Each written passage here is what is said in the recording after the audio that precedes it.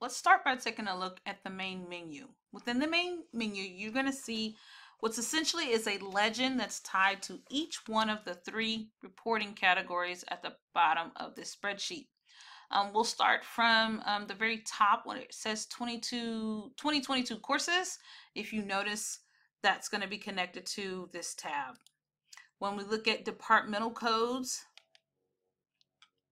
here and here, again, you're going to see that come up on this um, first tab, your, your courses tab. Same thing with course code types. Okay, so all of your, your kind of top header information is going to all tie back to your courses. When you scroll down and look at teacher analysis, everything in this section is going to connect to the columns here. And then finally, when you're ready to look at your departmental pitfalls, those are going to be connected to, to this third tab. And so essentially what you'll do is as you're getting or preparing to um, complete your report, you want to take some time to go over um, each one of these tab descriptions or column descriptions to make sure you have a thorough understanding of what's being asked.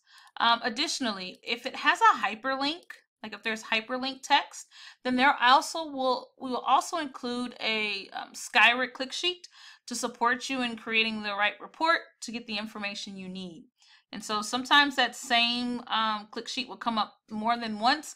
And that's our way of letting you know, hey, if you've made this report, report, it'll take care of this column, this column, this column, and this column. So one report could potentially take care of um, four different um, items on your list here. Same thing with teacher analysis. If there's a hyperlink, then there's some type of click sheet or tutorial to support you in the creation of your content. Okay, so that's generally the structure of this page.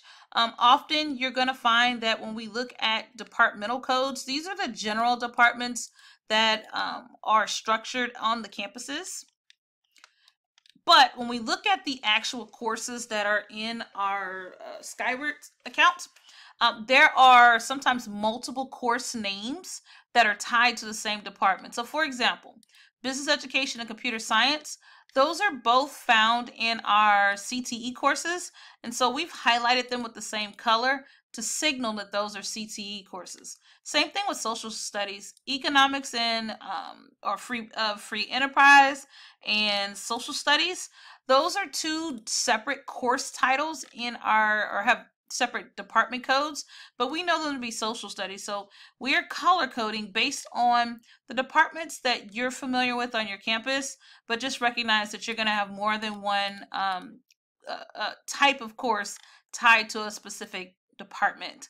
Um, also, SPED courses. When we talk about SPED, they actually, you won't find them here, but you will find them in a column called course type codes. It's a V and it's usually tied to modified curriculum. So those will be all of your special education courses um, that are essentially written that way. And then the last part are these other resources. So if you would like, you could take a look at the master schedule.